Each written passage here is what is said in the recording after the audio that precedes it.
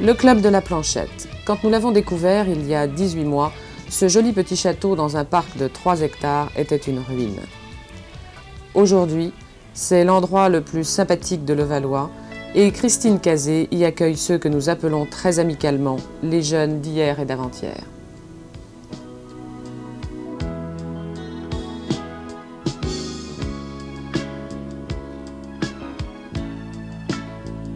Au Resto Club, ceux qui le souhaitent peuvent inviter leur famille et leurs amis. Notre chef, Nelson, amiral d'une flotte de gourmandises, propose une carte variée et renouvelée toutes les semaines.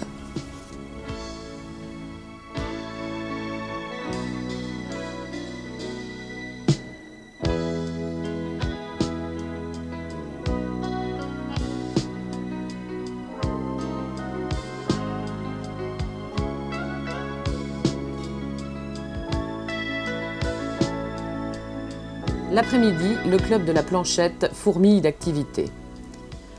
On affiche complet tous les jours dans les salles de jeu. Une statistique d'importance, la belote est toujours première au hit parade.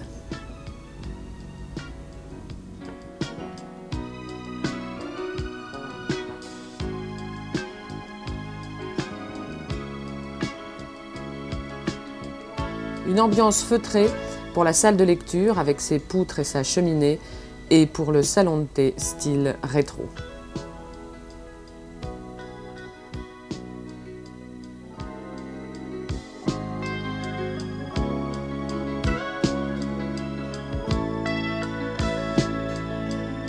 Enfin, au Club de la Planchette, une salle vidéo avec téléprojecteur et écran géant et chaque après-midi un film différent.